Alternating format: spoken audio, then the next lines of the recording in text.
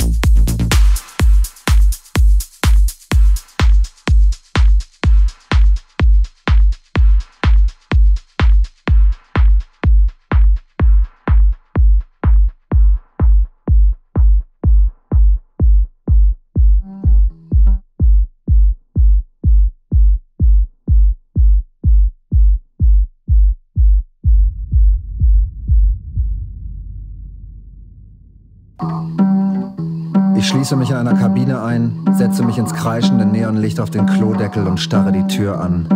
Über die Klinke hat jemand mit Edding geschrieben, dass Corinna S. eine abgefickte Hure ist und auf den Strich geht. Wenn ich doch nur irgendwas für die Nase dabei hätte. Ein bisschen Kokain. Ein kleines Näschen von Itchys Schrottspeed würde auch schon reichen.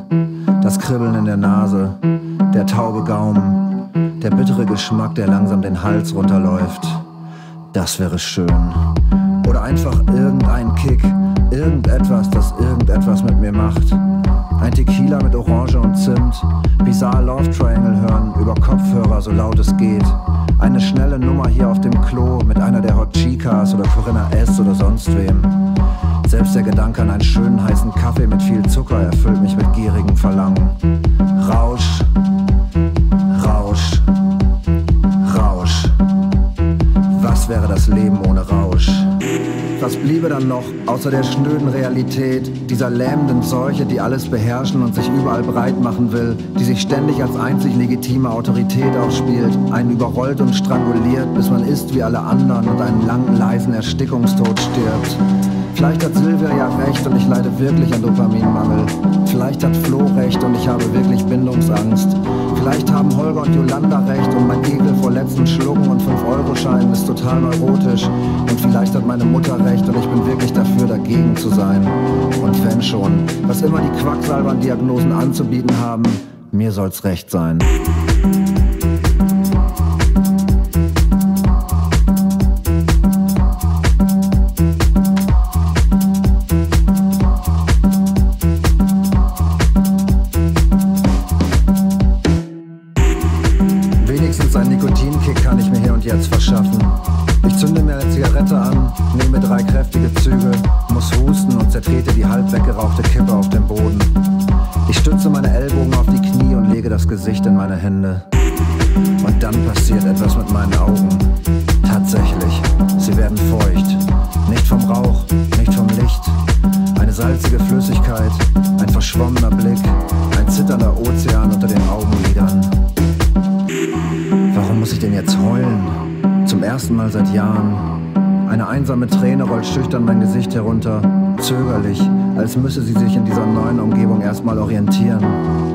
Für eine Sekunde bleibt sie an meinem Kiefer hängen und zerschellt dann auf dem versifften Boden des Klowagens. Wie gut sich das anfühlt. Weinen, auch ein guter Rausch. Hatte ich schon fast vergessen. Etwas fühlen, sich suhlen in einem warmen Bad aus Selbstmitleid. Hemmungslos und frei.